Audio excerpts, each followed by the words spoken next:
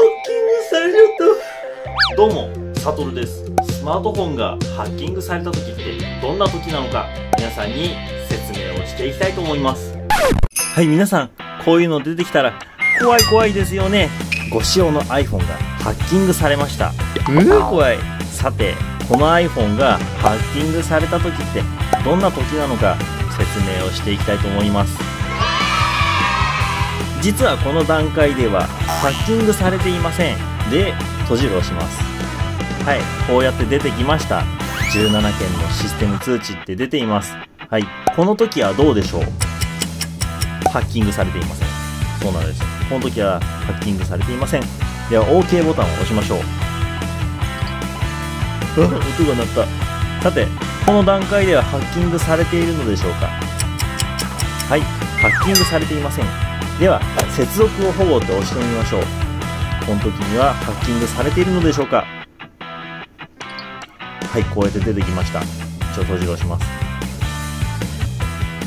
ではアップストアに飛ばされました。この段階ではハッキングされているのでしょうか。ハッキングされていません。じゃあいつハッキングされてんの？っていうことですよね。それは皆さんが焦った時にはもうハッキングされています。どういうことかというとこれが出てきて皆さんが焦ったらそれは皆さんの心がハッキングされているということです。心がハッキングってどういうことかというと皆さんが焦ってこのボタンを押してこの変なアプリをインストールしてしまったらハッキングされたっていう感じですね。要はこのスマートフォンがハッキングされるんではなく皆さんの心がハッキングされるわけです。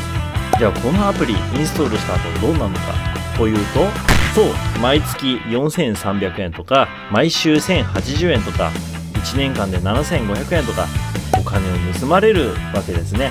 はい。相手の狙いは皆さんのクレジットカードとかそういうお金です。なので相手の狙いはお金ですから。でこれをインストールしてしまった皆さんあなた自身の心というのがハッキングされてお金がどんどん相手側に出ていっちゃうってわけですこの本体がハッキングされるのではなく皆さんの心がハッキングされてお金が盗まれるっていうわけなんですよ。皆さん知っていましたかね？意外でしょ？意外なところでハッキングされるんですよ。IT っていうのはまあなんだろうな心理勝負みたいなもんです。例えばアプリを作りました。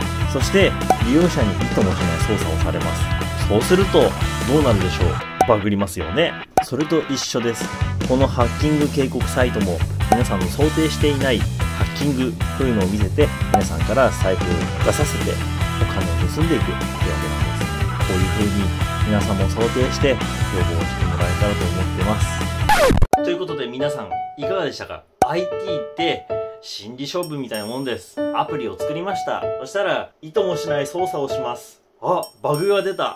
そうです。意図もしない操作というのは、アプリの作者はこういうことを想定していないんだろうな、というふうに思ってそういうことをするわけです。バグを出させるわけです。そういうのと一緒で、ハッカーに追跡されましたっていうのも、皆さんが想定していないことを言って、それで焦らせてお金を盗んでいくという感じですね。要は相手は皆さんの心のバグを想定して作るわけです。わかりましたか？今回の動画でぜひそういうことを学んでいってもらえたらと思ってます。ではこんな感じで動画は以上です。ご視聴ありがとうございました。おしまい